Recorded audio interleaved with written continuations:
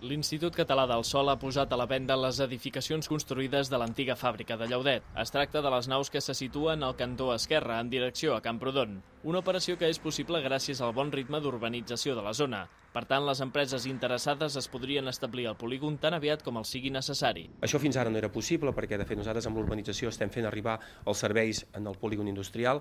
De fet, eh, ja estem començant a poder garantir eh, que qualsevol implantació de qualsevol empresa nosaltres doncs, podem arribar ja amb els serveis i, per tant, podem legalitzar l'activitat. Ens hem dirigit a tot l'empresariat de la comarca perquè és cert doncs, que les empreses, eh, i també una mica en funció de la situació econòmica de cada una, però també del context, poden necessitar eh, una, una ampliació, poden necessitar doncs, per una nova línia de negoci doncs, una, uns espais industrials nous. L'Ajuntament continua seguint el desenvolupament d'aquesta nova zona industrial que es realitza per fases. De cara a l'any que ve, la corporació avança que es podran visualitzar obres importants com la construcció de la rotonda que ha de distribuir la circulació a Llaudet. Crec que és una de les obres important i que manca en aquests moments a Llaudet. Aquesta nova notícia s'afegeix a les ja conegudes recentment com la implantació de Noel a la població qualsevol empresa doncs, que pugui tenir necessitats d'ampliació, a Llaudet pot trobar eh, el seu espai. No? En aquests moments també hi ha empreses que ja estan eh, valorant la possibilitat doncs, de poder adquirir alguna d'aquestes naus de, de l'antiga fàbrica de Llaudet i per tant és molt bona notícia. Altres estan mirant altres parcel·les, estem en bona línia,